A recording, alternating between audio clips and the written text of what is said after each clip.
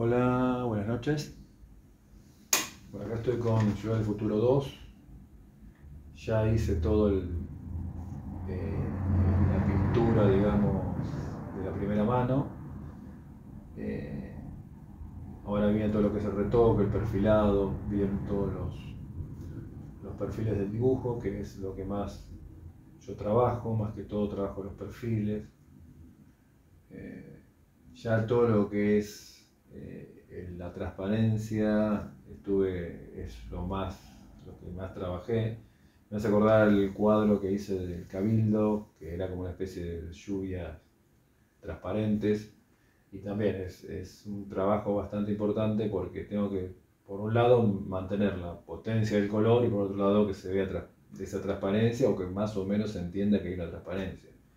Tampoco quiero hacer una transparencia eh, digamos, muy mecánica porque queda muy, muy obvio, muy, eh, como que pierde un poco de frescura.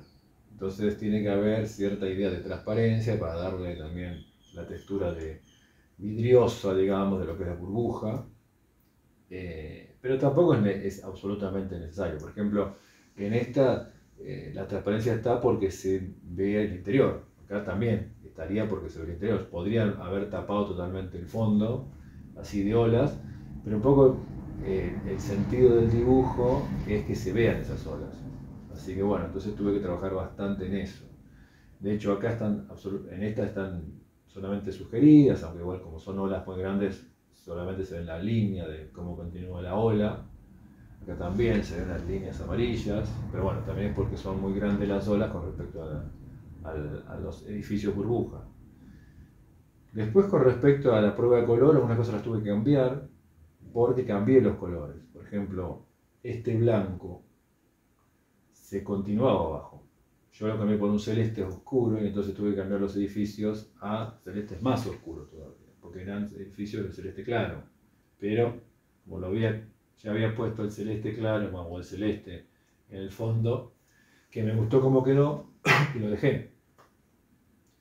Me gustó porque quedaba este celeste más o menos del mismo valor que el rosa y tenía acá como una especie de luz verde, eso me gustó, lo dejé, pero salió un poco de, pintar de la primera pintura. Después acá también hay una primera pintura que después le hice texturas de espátula y de agua y quedó bastante bien. Después tengo que ver algunos retoques, tengo que ver estas manchas de distintos colores de, de rosas como quedan, si te siguen gustando, más bien. Eh, acá hay unas texturas de manchas de espátula que me gustan como quedaron por ahora. Eh, después lo que más que todo le da transparencia y luz a las torres burbuja son que se nota el, el piso. Entonces, por lo menos en este, en este salió, en este salió, y ahora tengo que ver en este cómo lo, muestro un poco más. Quizás lo que tengo que hacer es este rosa bajar, eh, subirlo un poco, hacerlo más claro. Después tengo que hacer las personas, las personas caminando por los puentes. Ya empecé acá más o menos para el registro de tamaño, para que también pueda sumar el Ciudad 1, el Ciudad del Futuro 1 y se pueda formar un díptico. Mi idea es presentarlos en forma individual y formar polípticos, con todos cuadros que son del mismo tamaño, tienen que ser todos de 95 por 130. Porque la idea es hacer entonces una especie de ciudad panorámica eh, y a la vez ser cuadros en sí.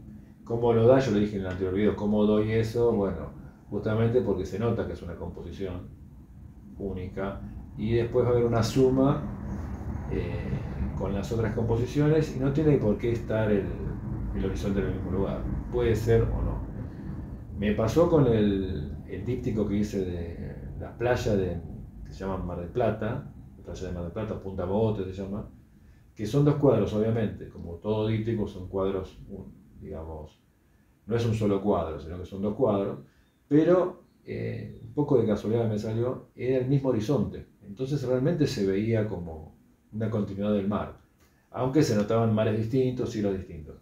Acá voy a ver, todavía ni lo junté, pero es muy posible que no sea el mismo horizonte. No importa, no importa porque la idea es que tenga un sentido también narrativo y si se separan las viñetas, hablando de narrativo y de, un lenguaje de historieta, eh, no hay problema.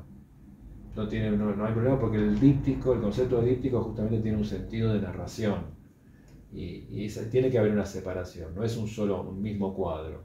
Aunque a veces se, le dice díptico a un, a un, cuadro único, pero no es un díptico, lo que son, eh, digamos, lo que son cuando es el mismo cuadro y hay varias, varias telas, eh, digamos, armadas, es un criterio de, digamos, de, técnico de cómo se hizo ese mural.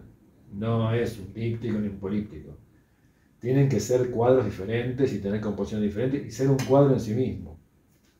Es así, tiene que ser un cuadro. Yo puedo sacar el cuadro del díptico y que sea un cuadro solo, que tenga una composición y que no necesite del otro. En definitiva es eso. No tiene que necesitar del otro cuadro para que la composición quede equilibrada. Ni de color, ni de dibujo, ni nada. Bueno, se me surgió la idea de hacer dípticos porque eh, justamente la idea me viene rondando por la serie de este año que quería hacer, que todavía no, recién hice dos o tres pequeños cuadros sobre papel, que es la serie narrativa, que eran de varios, justamente de varios dípticos políticos, pero en ese caso yo los iba a hacer eh, en un solo cuadro, por un sentido de, digamos, de, de ser más sencillo. Pero bueno, ahora me estoy dando cuenta que, ¿por qué? Porque yo quería hacer justamente uno arriba que el, otro y quería no, no, está, no que no sea siempre el mismo tamaño, sino jugar con los tamaños. Bueno, era más fácil hacerlo en un cuadro y dividirlo, dividirlo directamente yo. Eh, eso era lo que iba a hacer. Ahora, con esta serie, la serie de ciudades eh, futuristas y fantásticas, eh, surgió a ser un díptico más tradicional que son cuadros y que tengan cada uno su bastidor y bueno, y, que se puedan juntar eh, uno al lado del otro, pegados y que se cuelguen así. O en el caso mío lo que voy a hacer es más que todo hacer una reproducción, hacer una, imagen que se pueda reproducir y que sea del díptico en, en pósters. Por lo menos voy a empezar por ese lado. Después, la persona, si alguna persona quiere comprar los dos cuadros y ponerlo como díptico, yo lo voy a presentar con, con, esa posibilidad y bueno, va a quedar la idea presentada en la web.